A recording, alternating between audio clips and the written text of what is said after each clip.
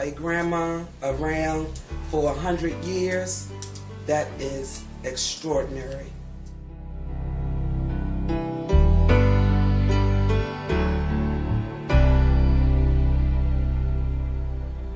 You taught me everything and everything you've given me.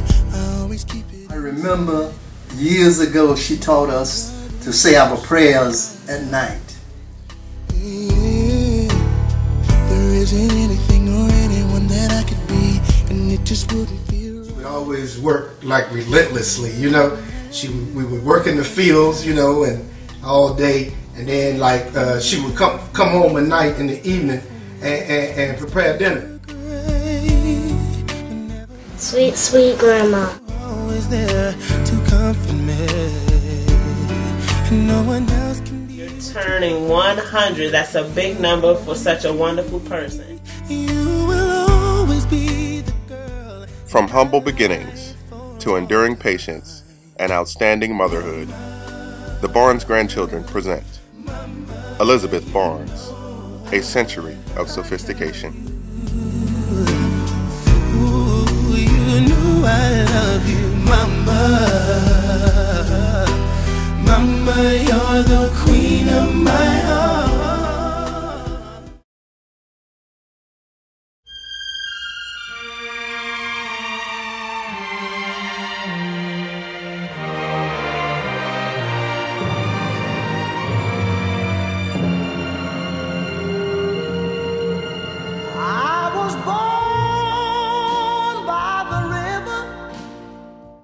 At the beginning of the year 1912, the United States of America consisted of 46 states.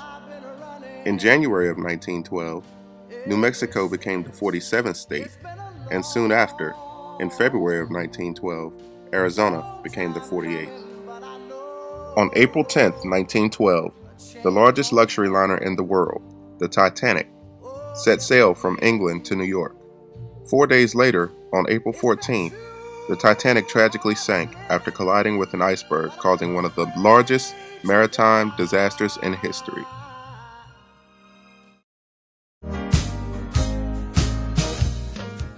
On June 24, 1912, while presidential hopefuls Theodore Roosevelt and Woodrow Wilson battled incumbent William Howard Taft for the upcoming presidential nomination, Nettie Elizabeth Barnes was born on a small farm at the edge of Greene and Wilson counties.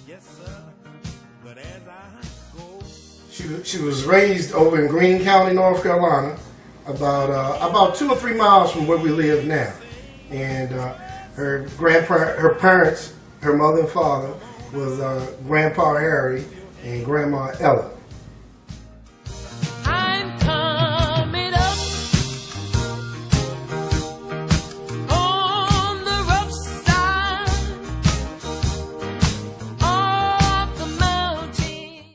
Came from a very complex family, as many families in the South were.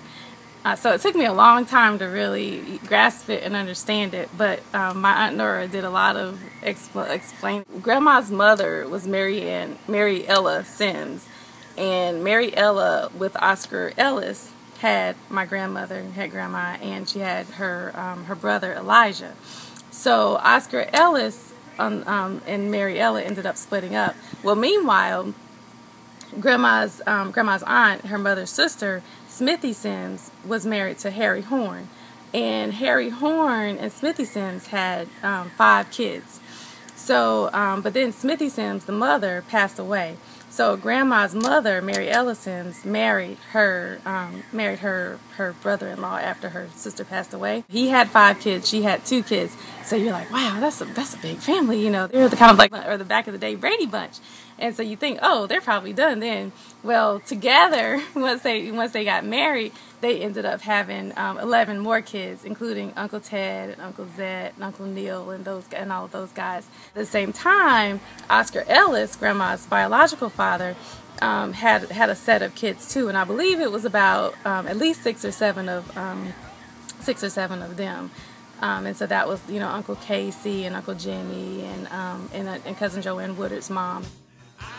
During her childhood, Elizabeth formed strong bonds with her siblings and developed a very important role within the Horn household.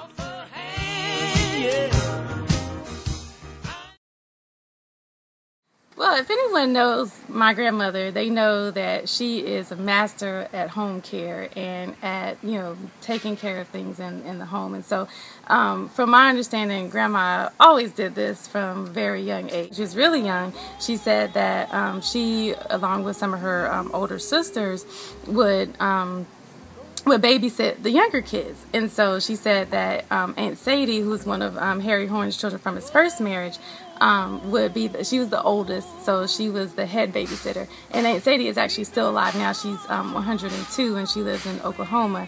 Um, but so Aunt Sadie was the head babysitter, and she said um, another one of um, one of uh, Harry Horn's children, Mamie, would um, and, and Grandma would be the comforters. So I guess that's why you know she's she you know was so has always been so loving and nurturing and caring um, to all of us.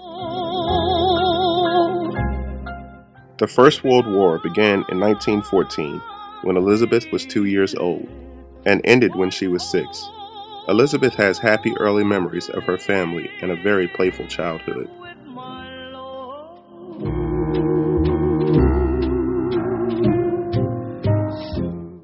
Told me that they were a very lively bunch. She said that they always enjoyed coming together around food and drinks and things like that. And whenever they did that, they were always, you know, really loud and boisterous. They loved to laugh and, you know, um, and talk and that kind of thing. Well, in that day and time, we loved to play outside at night when the moon was shining. And the mother would tell us, uh, around to say that uh, God bless the God bless the moon and God bless me and God see the moon and God see me at Mhm. night. And we're just having a good time out in the yard and playing. Then when it comes time to go in the house, we'd uh, had to go wash feet. And she had big old tub of water sitting As the First World War ended and the country entered into the Great Depression, Elizabeth honed her housekeeping skills under the tutelage of her sister Sadie and her mother, whom she referred to as Aunt Ella.